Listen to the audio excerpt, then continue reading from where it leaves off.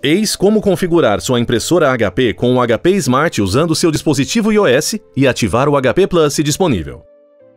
Certifique-se de que seu dispositivo iOS esteja conectado à sua rede sem fio. Acesse 123.hp.com para baixar o aplicativo HP Smart na App Store. Ligue a impressora.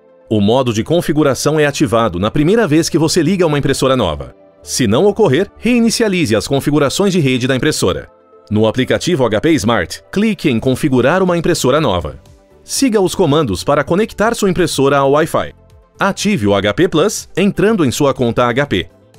Aceite ou pule a oferta Instant Ink do HP Plus e escolha o seu plano. Siga os comandos para concluir a configuração.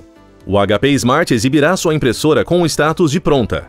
Agora você pode começar a imprimir.